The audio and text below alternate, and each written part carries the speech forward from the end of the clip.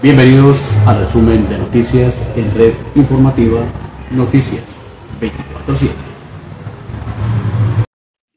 En la noche de este domingo 10 de noviembre se conoció el secuestro de un grupo de uniformados del ejército y la policía en la zona rural de Argelia Cauca, luego de que se registrara la muerte de una persona en un puesto de control, quien al parecer hacía parte de las disidencias de las FARC. El ejército nacional explicó los hechos que se presentaron en esta zona rural del municipio al sur del Cauca y confirmó que los uniformados que fueron retenidos de manera ilegal ya se encuentran libres y ejerciendo sus labores en los puestos de control. Esto fue una verdadera azonada contra el ejército en el Cauca. Y esta azonada habría sido para impedir la extracción de un cuerpo de un disidente de las FARC, según la información oficial.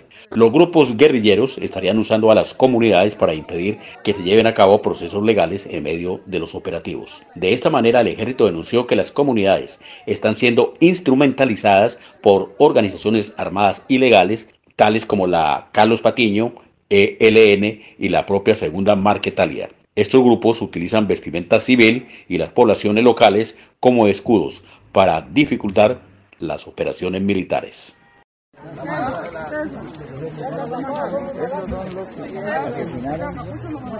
Saque el casco, agente. Señora agente, quite el casco. Con el nombre Quite el casco para mirarle la cara. Quite el casco. Quite el casco. Quite el casco. Es un campesino, Es un campesino. Un campesino.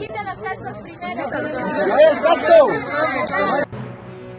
Y esta noticia debe tener bastante triste a Gustavo Petro, ya que su hija Andrea Petro, en entrevista con Caracol, manifestó que Álvaro Uribe Vélez es un verdadero líder, es un verdadero político. Definitivamente dicen que no hay cuña que más apriete que la del mismo palo. Escuchemos. Yo respeto mucho a Uribe. Ah, qué curioso. Es un verdadero político, es un verdadero líder y es una persona inteligente. Se para ahí. Ya eso es lo que día lo que defensa, ya es una persona, es un líder de verdad. Hay personas que nacen, es que los líderes, no sé, eso no se aprende. Mm. Eso se nacen con eso. Él es un líder.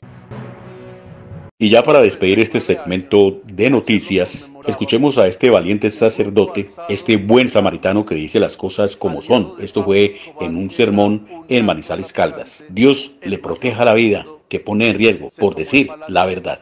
Hace 39 años ayer lo conmemorábamos, un grupo alzado en armas, aliado de Pablo Escobar, que era un narcotraficante, el mayor del mundo, se tomó el Palacio de Justicia. Y entonces pusieron en jaque todo el sistema democrático de nuestro país. Ese es el problema que nosotros tenemos.